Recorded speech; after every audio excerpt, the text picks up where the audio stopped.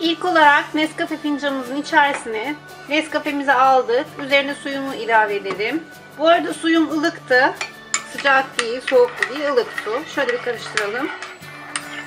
Şimdi bunu kenara, kenara alalım. Şimdi muhallebimizi yapacağız. Muhallebi için olan malzemeleri içerisine aldık. Labnemizi koymadık bu arada. Labneyi piştikten sonra koyacağız. Yani labne hariç tüm malzemeleri kabımıza alıyoruz. Kısık ateşte bildiğimiz o güzel muhallebi kıvamına alana kadar pişiriyoruz. Muhallebimiz hazır pişti. Şimdi içerisine bir kutu labneyi katıyorum. İyice karıştıralım. Hazır pasta keklerinin her iki tarafını da hazırladığımız Nescafe ile birlikte ıslatacağız iyice. Keklerimizi ıslattıktan sonra şimdi hazırlamış olduğumuz muhallebiden döküyoruz iyice ara katına. Şimdi üzerine bolca kakao serpeceğiz. Islatmış olduğumuz diğer katı da üzerine kapatacağız şimdi.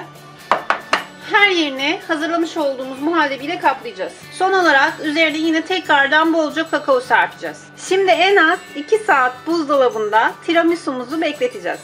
Pratik tiramisumuz hazır. İnanın çok ama çok lezzetli oluyor. Kesinlikle denemenizi tavsiye ederim. Gördüğünüz gibi yapımı da çok kolay. Deneyen herkese şimdiden afiyet olsun. Hoşçakalın.